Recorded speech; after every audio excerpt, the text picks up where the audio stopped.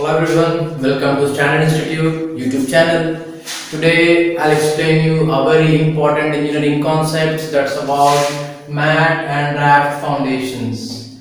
Before going to explain you about mat and raft foundation, let me give you some basic overview of how the project starts how the execution start on site on what basis on what plans we start our execution on site see whenever you are going to execute a new project on a on a given site very important thing are its architectural drawings and structural drawings we have to read these drawings in conjunctions with each other in conjunction means you have to read all both architectural and structural together.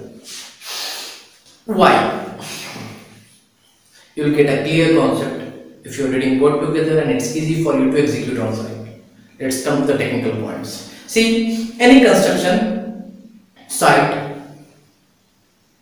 has two things a very prior, a very at the very starting point. One is a plan, you what you find in a plan. One is setback area and the other one is built up area understand setback area built up area built up area is nothing but the area on which we will be starting our construction setback area the area which belongs to that particular site but we are not constructing anything on that area is called as setback area. You can take that area for what can I say for ventilation purpose, for any other purpose, whatever. So on to our built up area. The very first thing is we have to see the architectural drawing. Next is column placement drawings.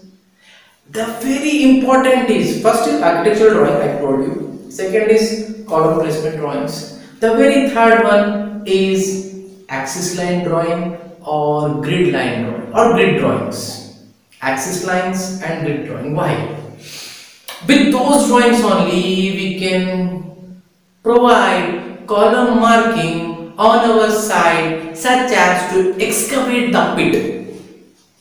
If you want to start your construction to give a marking layout marking of your particular site and even of your columns and footings you need to be perfect in reading out and understanding a detailed thorough understanding of grid line axis line drawings.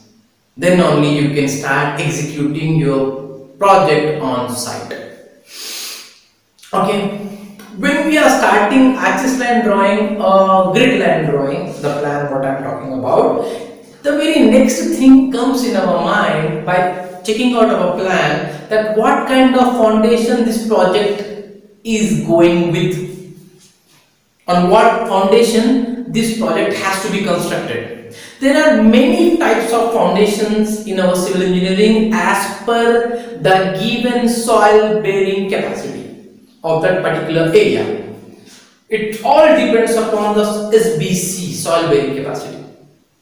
A number of footings are there, plain footing, combined footing, uh, raft footing, shoe footing, neighbor footing, mat foundations, all these things are there. Understand? I am not going through all those things as of now.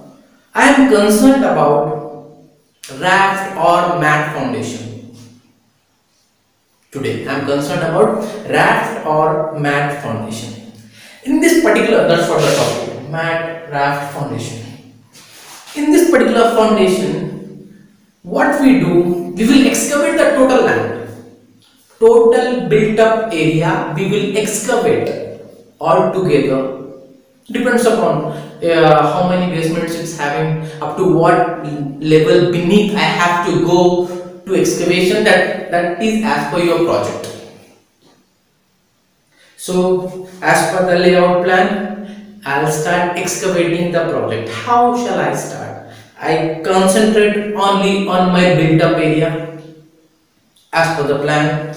On to my built up area, the very first thing what I'll be doing is digging wooden nail across the area. Why to dig everywhere?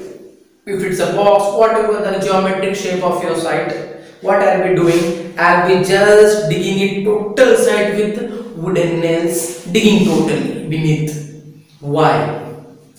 Such that the outer soil, outer soil of your particular plot of your particular area must not fall onto it. When I start excavating the inner that means whenever I am starting to excavate the built up area from my setback area oil must soil sorry soil must not come into my pit. For that reason I'll start the very first process that is to dig my wooden nails. The very next step what I'll be going through is excavating mark area. What I'll be doing? I'll excavate the mark area as per the depth of the uh, project given in plans. As I start excavating it, because I'll be excavating the total land of my particular project. I will not excavate a pit. One pit over here, one pit over there, one pit over there, as we usually do for plain footing, combined footings. We are not doing like that. We are just taking out each and everything. Whatever the area it's been given to our what built up area. I'll be excavate the total built up area. Whenever we are excavating the area, what will happen? Ultimately, water comes out. As the water table is there, uh, water will come out. What we have to do? We have to dewater that area.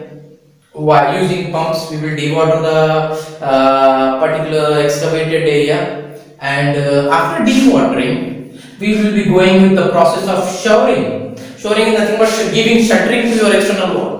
Totally external four uh, four sides of your particular plot. Just provide shuttering such that soil may not uh, again fall back onto your excavated bit. That's called as shoring. Dewatering and shoring is a very important step in our mat or raft foundations.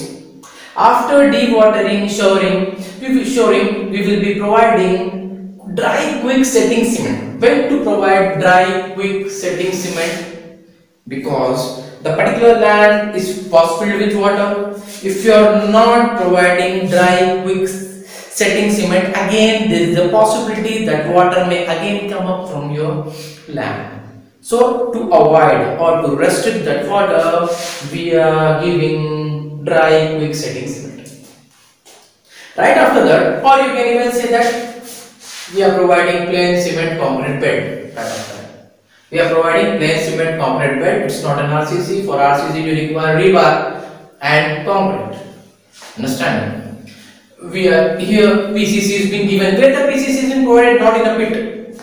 Your total project is a pit. Don't uh, get confused. I have we have to execute our total area of the way the project has to be built. That means we have to excavate all the built up area, we have to dewater it, we have to provide shoring to it and we have to give to the total area we have to give with, we have to provide it with dry quick setting cement. Right after this, on to now we got a smooth surface area as we have provided what can I say dry uh, dry quick setting cement and plain PCC bed has been provided all together on our project on our project site. The very next thing which we will be doing is the very next thing which we'll be doing is providing covering blocks on PCC bed. Providing see, I'll uh, do just one more thing. Go through my all the pictures which I am providing you over here consecutively with my lecture from over here to there. It will be easy for you to understand. Okay, so what we'll be doing, we'll be giving, providing dry quick setting cement the next step, provide covering blocks on PCC bed. You can see over here, I have shown you what covering block is. Fine. Okay. Then provide, why to provide covering block? Next question. See, if we are not providing covering block, without providing a covering block, we are directly giving a mesh, then our mesh will not get sandwiched between the concrete. Our mesh should be in between like a sandwich, like a burger. In a given chicken burger, we'll find a chicken in between filled with from both top and bottom. It will be totally covered with what bread. So here your uh, chicken is nothing but your what can I say rebar. your rebar must be totally packed up by bread. Your bread is nothing but your concrete. Concrete totally packed. When it will get packed? When you are providing a covering block. Onto the covering block, onto the covering block, when you are placing a mesh, what will happen? When you are pouring concrete, concrete will go beneath it to the distance of the covering block and over here also. So what will happen? Our total mesh, bottom mesh will be covered. Hope you all are understanding what I'm talking about.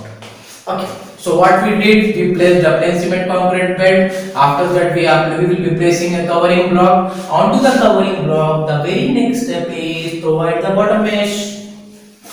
What is mesh? It is nothing but the bar steels. Understanding? Mesh, bottom mesh will be placing all together. Bottom mesh covering block, bottom bottom mesh as per project plan structure design. Okay, what we are doing, we are providing a bottom mesh onto a covering block. The very next thing which we'll be doing over here is tying our floor column to our bottom mesh. Okay, column legs will be tied to the bottom mesh and the very next thing right after placing of our bottom mesh we will be giving chairs over here. Why do you provide chairs over here? These chairs acts as support to our top mesh okay chairs can be single chair double chair and the next thing is the spacing which has to be there from one chair to other chair is approximately of 1 meter or as specified by your design drawing. Okay what we, what is happening? We have provided a bottom mesh. After providing a bottom mesh we have tied our columns which has to be raised then we are we are even providing what chairs. Why to provide chairs because we have to give top mesh. As we gave a bottom mesh onto that we have to provide a top mesh. Between the gap to act as a support we have to provide chairs. And the spacing between chairs has to be 1 meter after each and every chair. Or as per the specified spacing provided in the plan. Okay then what we have to do? Now provide top mesh. As i told you bottom mesh came into existence. We have uh, tied our floor columns. We have tied our uh, chairs to the bottom mesh. And onto the chairs we have placed our top mesh. After placing our top mesh what will happen? The process will keeps on going. Okay? This is how mat foundation works. For you all such that you can have a certain more hold over the subject. What I am teaching you as of now I'll again repeat it. Please concentrate and keep going through the diagrams which I have which I am specifying over here. It will be very easy for you to understand and have a realistic view. Okay the very let's again get a quick overview of this particular thing. What we did why we require mat foundation? Because the particular project soil has high water table and the soil is weak. It can't withstand the load of the huge building which is to be constructed. That's the reason why we are going with raft footing. And basically we provide raft footing near seashores, near, near uh, any, any hotels which has to be constructed near river or a place which is having high water table or a very weak soil bearing capacity. Okay, so what we'll be doing, we will be digging out the total complete built up area. After digging out the built up area, the very next thing that's meant we have excavated, right? Digging out nothing but excavating the built up area. As we excavate, what will happen? Water comes out. So we have to dewater that particular space. After dewatering that space, what we have to do? We have to provide shoring all together on every single wall. That means every single particular uh, covering of our pit okay? Then why do such that the sand must not fall back into our excavated pit? The very next thing which we will be doing is on the rough surface which has got excavated we have to smooth it and the very next thing we have to provide dry quick setting cement such that water must not again come back onto our excavated pit Right after that, we have to provide our plain cement concrete bed. One more, one more, one more important thing I'll be saying saying to you over here is we will be placing 4 inch polythene sheet all over our project before laying of our PCC bed. Keep it in mind Okay, before PCC bed, what we'll be doing? We will provide a 4 inch PCC bed on 4 inch PVC sheet. Onto that particular PVC sheet, we will be placing our PCC bed. After placing PCC bed, what will happen? We will be giving our bottom mesh and to that bottom mesh we will tie our neck column or sorry our floor column neck column the same whatever the column below ground level is neck column above ground level is floor column. We are tying that particular column at uh, uh, what can i say? We are tying our column onto our bottom mesh. And we are providing chair. Why to provide chair? We have to again place our top mesh. That's the thing. Provide chair. Now provide top mesh. With this we are done with our particular mat Thanks for watching this video on mat foundation. Hope you all understood it. Hope you all got it. And in future, I'll upload you everything with respect to plan. I'll explain you the total plan reading, the total structural designing work with the help of a project such that you can get clear view, clear concept, technical grip on this particular topic, mat and raft foundation. Thanks for listening to me. Please like, subscribe and share our YouTube channel. And thanks for watching. I'll sign out.